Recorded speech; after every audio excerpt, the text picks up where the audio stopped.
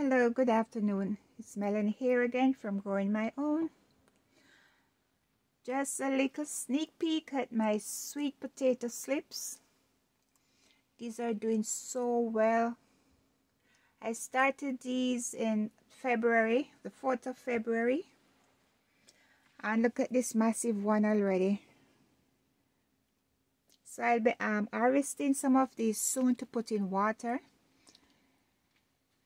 make roots and allow some new ones to grow. Yes, look at this root system I have here. Look at the bottom. and most of the potatoes, all these in the corner is from one potato. The middle one is from another one.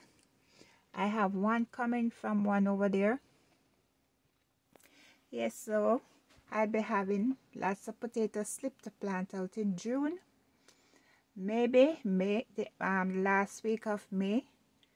Because this year the weather is not so bad, so maybe it will be warm in May.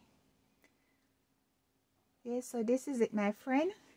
If you like this video, please leave a comment. Please leave a thumbs up. Please subscribe to my channel to follow up and the sweet potato plants in the garden for summer. And please subscribe to my channel. Thanks for watching. Bye.